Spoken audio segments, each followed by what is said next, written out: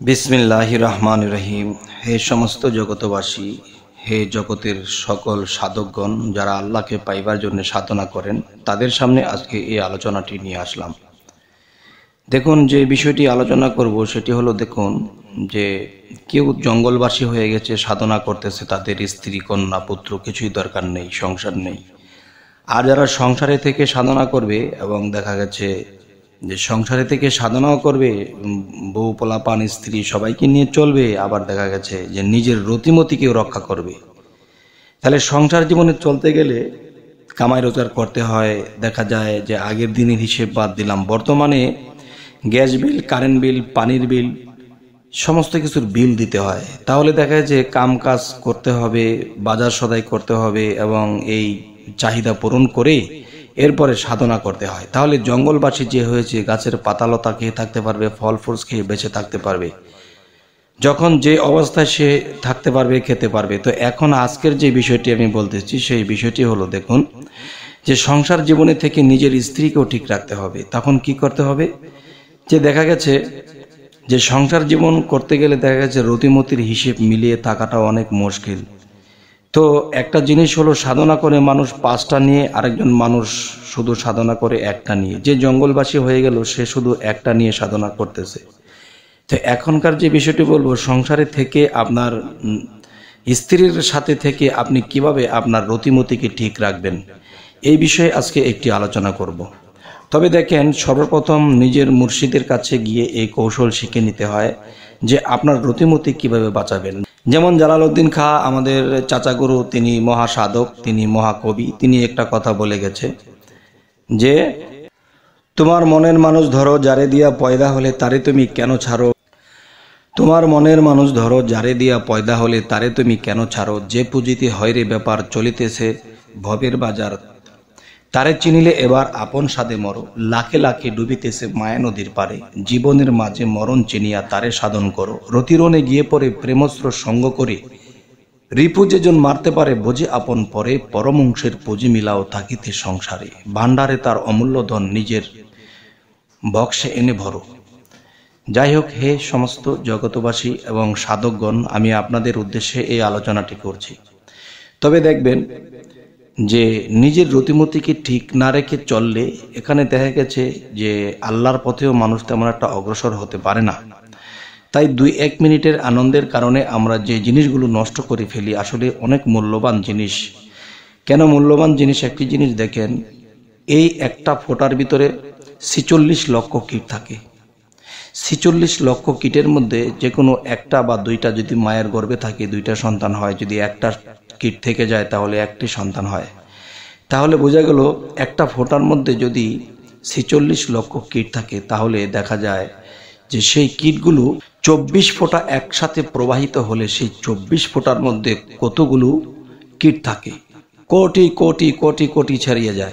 তাহলে এই দু এক মিনিটের আনন্দের কারণে আমরা কিন্তু বড় সমস্যায় পড়ে যাব, বড় লস হয়ে যাচ্ছে।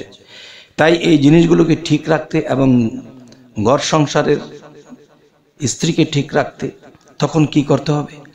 দেখেন যে মহাবিশ্ব ব্রহ্মাণ্ডে যা কিছু আছে তা আছে মানব বাণ্ডে। তাহলে আমার মানব বাণ্ডের ভিতরে কি আছে? বাতাস আছে। তাহলে মহাবিশ্বের ভিতরে কি আছে? বাতাস আছে। তাহলে দেখবেন পোলাপানে বা ছোটকালে যখন পাটের ক্ষেতের যে শোলা, শোলার উপরে একটা টিকটিকে ডিম দিয়ে নিচে দিয়ে যখন ফু দেওয়া হয়, তখন ডিমটা উপরের দিকে ওঠে, আবার কিন্তু জায়গাতে এসে বসে। আবার উপরের দিকে ওঠে, আবার ফু দিলে আবার জায়গাতে গিয়ে বসে। তাহলে এই জিনিসটি দেখেন আপনার মধ্যে যে রতিবন্তির খেলা, সেটি আপনি যখন আপনার স্ত্রীর কাছে যাবেন, সেই তথ্যে যখন যাবেন, তখন দেখবেন যে সেই মস্তিষ্কের থেকে টেনে সে পাতালের দিকে নিয়ে আসতেছে এটার এত ক্ষমতা। তাহলে আমি বলব যে এটা কিন্তু বায়ুর সাথে ভ্রমণ যেমন একটা জিনিস দেখেন, আকাশে যখন বৃষ্টি ঘুরতে থাকে, তখন কিন্তু নিচে যদি বাতাস থাকে, তাহলে সহজে বৃষ্টিটা পড়ে না। আর বৃষ্টিটা তখনই পড়ে যখন বাতাসটা থেমে যায় থাম করে বৃষ্টিটা নেমে যায়। ঠিক আপনার মধ্যে যে নাবিকুণ্ডের উপর থেকে যে বাতাসের অংশটা আপনি থামিয়ে দেবেন যেমন বাতাসটা থামিয়ে দেবেন কীরকম, যেমন আপনার পেটটা ভরে মানে ফুসফুসে বোঝাই করে ফেলবেন বাতাস দিয়ে। আর সেই বাতাসটি বোঝাই করার পরে কি হবে জানেন? তখন এই বাতাসটি আপনার সেই রতিমতিকে ঊর্ধ্বগতি মানে উপরে রাখবে। তখন আপনার এখানে কি হলো না হলো, কিন্তু সে নিচে নেমে আসতে পারবে না। তারপরেও আমি ইশারা ইঙ্গিতে বলে গেলাম, পুরোটি বুঝিয়ে হয়তো বলা যাচ্ছে না।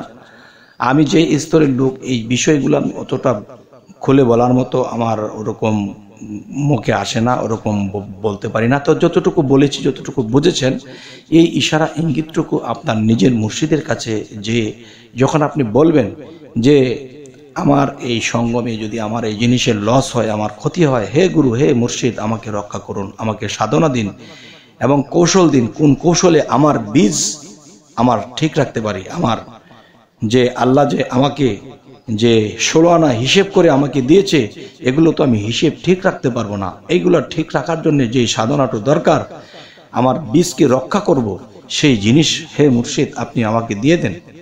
তখন মুর্শিদের কাছে যখন যাওয়া হবে, তিনি অবশ্যই যেই ব্যক্তিটা চাইতে পেরেছে, অবশ্যই সে এটা পাইতেও পারে।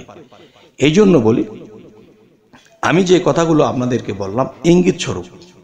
কিন্তু এই কথাগুলো বাস্তবতা ভাবে নিজের মুর্শিদের কাছে পঙ্কনে পঙ্কনে বুঝিয়ে দেবে যে কোন জায়গা থেকে বাতাসটা থামাবে, কোন জায়গায় গিয়ে চালু করবে এবং কোথায় কি করতে হবে, সমস্ত কৌশলগুলো দেখিয়ে দেওয়া হবে। তখন কি হবে? আপনি আস্তে আস্তে এই নিয়ম পালন করতে করতে আপনার রতিমতি ঊর্ধ্বগামী হয়ে যাবে। তখন আর নিচে নামবে না। তখন কি হবে? আস্তে আস্তে সেই মানুষগুলো মহাপুরুষে পরিণত হতে থাকে সোহান আল্লাহ তবে হে সমস্ত জগতের সাধকগণ সমতের সাধু সাধুগণ এবং আমি স্বামী মালি চিস্তি যে পথে আছি, এই পথে থেকে যে আমি সম্পূর্ণ সাকসেস হয়ে গেছি তা নয়। আমি এখনও সেই শিক্ষায় শিক্ষিত হচ্ছি। পূর্ণ হতে পারিনি। তবে আপনাদের আশীর্বাদ যদি থাকে, দোয়া যদি থাকে, আপনারা যদি আমার দিকে সুদৃষ্টি করেন, তো ইনশাল্লাহ আমিও পারব। তবে যতটুকু পেরেছি এটাকে পারা মনে করি না, আরও বহু কিছু বাকি। আর অবশ্যই আপনারা আমার এই চ্যানেলটিকে সাবস্ক্রাইব করে নেবেন, যাতে পরবর্তীতে আপনাদের কাছে আরও ভালো ভালো কিছু আলোচনা নিয়ে আসতে পারি। হ্যাঁ তবে আরও একটি কথা মনে পড়ল। সেটি হলো কি, যে যখন আপনারা সঙ্গমে যাবেন, তখন কিন্তু কিছু নিয়ম কানুন আছে। দেখা গেছে যে সেই বিষয়টি হলো দেখুন যে আমার বক্সে আগুন, আবার সেই বক্সেও আগুন। দুইটা বক্সে যদি আগুন থাকে, আগুনে আগুনে দ্বিগুণ হয়ে তখন সেই মম কিন্তু গলে যাবে।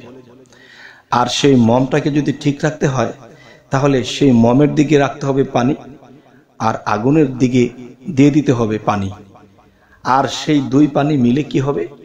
যে জিনিসটা দীর্ঘ হবে, এরপরে কি হবে? যে এই জিনিসটির প্রবাহিত হবে না। তখন ঠান্ডা জমাট হতে হতে হতে বরফে পরিণত হবে। বরফ, পানিটাই তো বরফ, কিন্তু সেই বরফটা যদি গলে যায় তাহলে কিন্তু তলিয়ে যাবে। আর যদি সেকে বরফ করে রেখে দেওয়া যায় ইনশাল্লাহ যাই হোক, এ কথাগুলো বলেই রাখব। সকলেই ভালো থাকবেন। আল্লাহ হাফিজ।